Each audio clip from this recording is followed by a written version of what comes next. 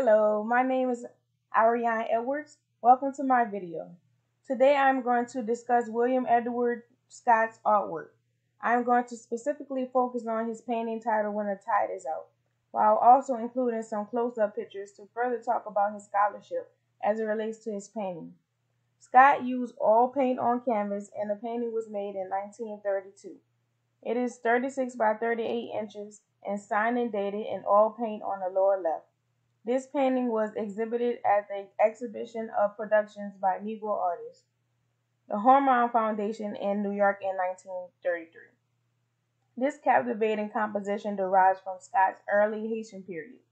Scott was a distinguished African American muralist, portraitist, and illustrator who depicted blacks in an uplifting way. Scott's work was included in the Harlem Renaissance most significant exhibitions, such as the 1927 Negro in Art Week show, which was the first all black exhibition of visual art in the United States, and the 1933 exhibition of the productions of Negro artists. He turned toward the black working class and folk subject matter.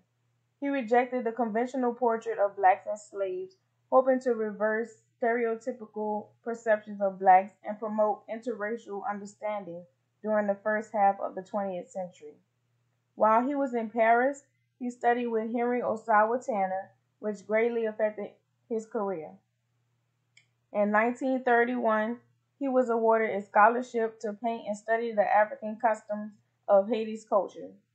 Scott's work greatly influenced the direction of art by the youth who were the predecessors of the Haitian art movement. He made many sketches around the docks where merchants and fishermen came ashore at Port-au-Prince, which were later translated into larger canvases. His brushwork was more expressive and his palette became richer. Scott created visual synopses of the appearance and work environment of Haiti's peasant class. In Haiti, Scott developed a style that contributed to his effectiveness as a mural painter. When the Tide is Out depicts Haitian fishermen and merchants at a dock engaging in their everyday labor duties. At the bottom of the composition, there is a woman with a headscarf tied around her head carrying a tray of oranges to bring on the boat. There are eight figures shown in this painting which are rendered through broad painterly brushstrokes. Painterly can be defined as the application of paint in loose visible brushstrokes. Each figure is depicted doing something which creates a sense of movement, and a narrative aspect. He is using a muted palette consisted, consisting of dull neutral colors that are not as bright and using brown, yellow, and blue hues predominantly.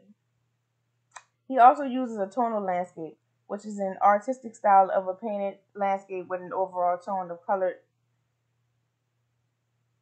atmosphere to create a ha- hazy atmosphere.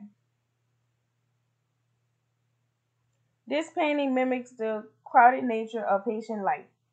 He vividly displays the local color of the water and the way the sunlight hits it. His sense of organization and harmony are essential elements used to help unify the overall composition.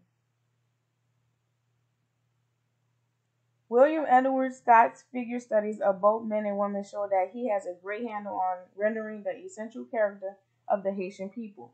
Some figures exhibit intense expression and a powerful presence. He also forces the viewer to concentrate on the figures, which is the key subject of his paintings. His elderly subjects are vividly expressive of years of hard work and the heat under difficult conditions. The determination, resilience, and strength of the Haitian peasants are summed up in these paintings shine. These are some of his most successful and dynamic compositions. He also incorporates a dramatic use of light in some of his work. Scott never followed the trend toward abstraction like some younger black artists did at the time. He steadfastly uh, adhered to traditional methods of painting. These are some examples of paintings that incorporate tonal landscapes similar to the When the Tide is Out painting. In conclusion, the way that Scott depicted the Haitian culture helped inspire a widespread artistic turn away from racial uplift and the politics of respectability. He devoted his skills to expressing his pride and dignity as an African American. While in Haiti, he depicted various Haitians engaged in labor. Scott was able to capture the essence of everyday life and images of ordinary people. He elaborated on his interest in historical subjects by painting murals and portraits that summarize the tragedies and triumphs of African Americans from the Revolutionary War era through the Great Migration. Blacks gathered in Paris to build political and cultural links across national boundaries. His success influenced and motivated many other black artists all around the world. That concludes my video for today. Thanks for watching.